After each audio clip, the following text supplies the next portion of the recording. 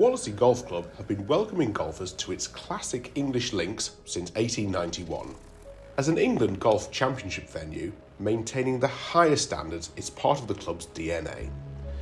But when a series of their environmentally sensitive sand dunes needed reseeding, they looked to the future rather than their illustrious pasts for a method that would minimise the impact on the course, its players, and of course the dunes themselves. Peter Johnson, a member of the club since the late 1960s, is also amongst the first drone pilots in the UK to be qualified as a spreading and sprayer operator, having recently been trained on Autospray's course at Harper Adams University. He suggested that reseeding by drone would be an efficient and sensitive approach.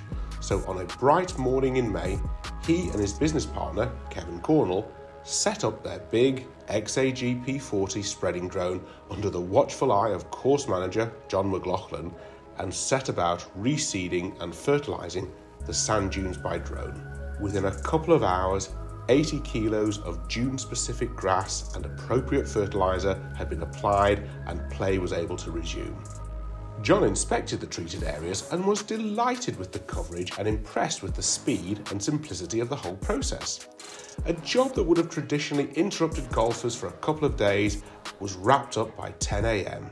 It looks like the team from Quadrotor will be spending more time on golf courses across the UK, but sadly, I don't think it will improve their handicap.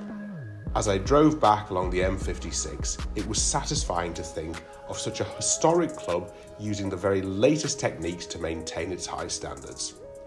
Great job, Quadrotor.